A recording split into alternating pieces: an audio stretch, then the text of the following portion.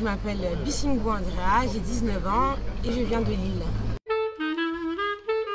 Moi, ce que j'ai proposé, c'était de euh, revaloriser le salarié au sein des entreprises à travers, euh, à travers un label qui s'appelle CARE, donc, euh, qui veut dire non seulement confiance, autonomie, responsabilité et engagement, mais aussi CARE par se soucier d'eux. Et ce serait pour inciter les entreprises à, à mieux traiter leurs employés.